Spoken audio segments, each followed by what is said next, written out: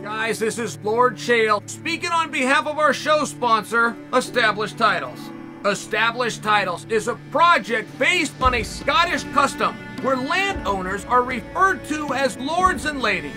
They allow you to buy as little as one square foot of dedicated land so you can officially call yourself a lord or a lady.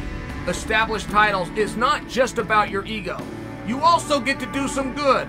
In addition to your new fancy title, Established Title supports global charities like One Tree Planted and Trees for the Future to help with the afforestation effort. Your title pack gets you at least one square foot of dedicated land in a private estate in Scotland. Your certificate features a unique plot number where you can see the exact location of your land.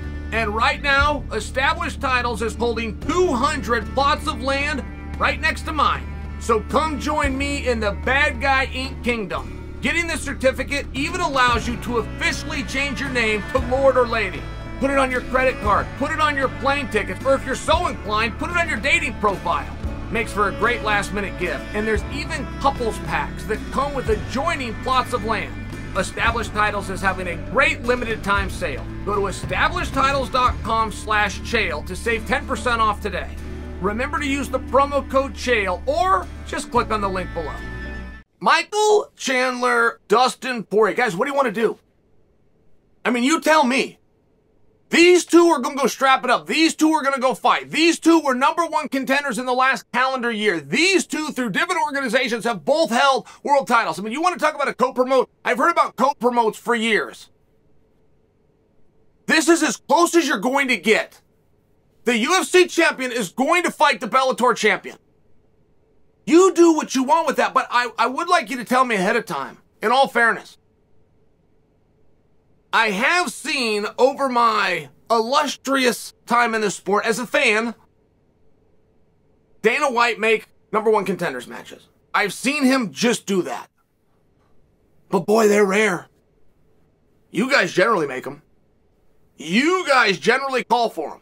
Hey, why isn't this a number one contenders match? Hey, is this a number one contenders match? Hey, this should be the number one contenders match. You guys start it, and then that gets responded to with a yay or an A. That is generally how it's done. And it very much appears, and I don't have a problem with it. Look, 155 pounds, this is iron on top of iron. I don't know that we have a bad name. You can put the top 10 guys on the door uh, or and throw a dart. I, I think that we would all go, okay. It appears to me, because of Volkanovski stepping up having the face off, having the agreement, and apparently even having a date set. It appears to me that we've taken our eye off the ball of number one contender. Now, if we've done that rightfully so, see, I like the backup guy. I don't think there's any opportunity more in this sport than being ready for something that's not supposed to be yours. To be ready to step in. I don't think there's any opportunity. If I was a manager, if I'm managing, boy, that's what we're getting ready for. That sounds like you're winning the lottery. Boy, that lottery comes up a lot. I mean, it really does. I think that's spot. Now, I bring that up because I know Chandler wants the title and nothing else. When I talk to Michael, I can't hear anything. I can't hear about Dustin Poirier. I can't get the questions answered that I called to at all he talk about his title. However, with Chandler, I've got to defend him on this, guys. He's willing to do whatever it takes to get him there.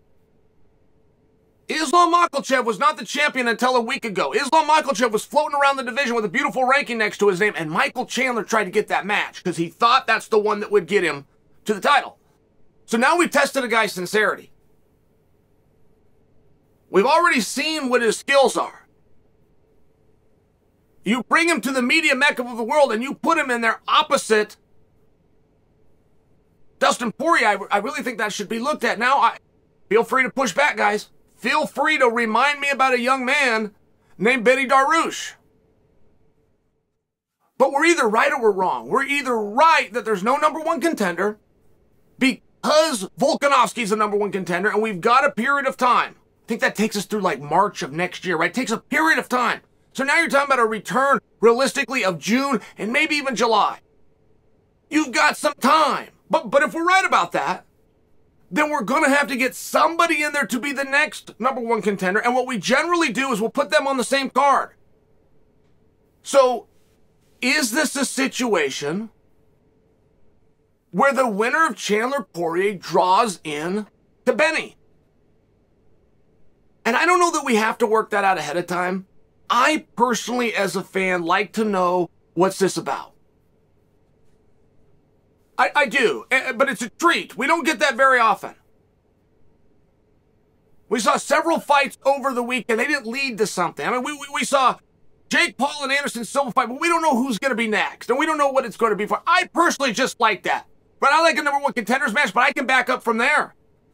I like a straight up this guy draws in. Dana did that on the Pat McAfee show. He comes out and he says, right before Chimaev is going to fight Gilbert Burns, he says the winner of this fight is going to draw into an ABC main event opposite Covington. I like that. That's a treat for me. I like to know what this is about, but I also liked it as a competitor. If I'm the competitor and I've already advanced through, I kind of get to sit back just one night, but I get to watch these two guys. And I think maybe that is a realistic scenario. I think maybe I just hit it on the head. No, those guys can have different opinions, and those guys go, no, hey, to hell with that. I'm, I'm putting everything on being the backup fighter. I just watched it work out for Volkanovski. I'm going to copy it and I'm going to do it. We would have to listen, but I'm sharing, guys, just to remind you, you're the ones that start this. Please don't mistake that. There's a few times through history Daniel's got this is number one contenders fight. Oh, oh, oh, it is? Oh, yeah, yeah, yeah, that looks like it should be. Those guys are pretty good. That's really not the way it goes. It's a coveted division. What are these guys fighting about? I mean, this has turned into one of the most personal grudges. You do remember what it's about, don't you? You remember that Michael Chandler grabbed the microphone and burnt the house down, right? Hmm. Say some things into a mic, you're gonna have to answer for him. You're gonna piss some guys off. Oh, wait, should I mention for he didn't say anything about Dustin Poirier. That's what the problem is. Do you guys remember this? This has turned into one of the most personal grudges to where they're doing media now and they're having to do it from separate locations because they're getting mad. It's the first time Dustin has ever been mad. And Dustin, he's starting to upset Chandler. Within the next two weeks, right? I mean, this thing's gonna get weird.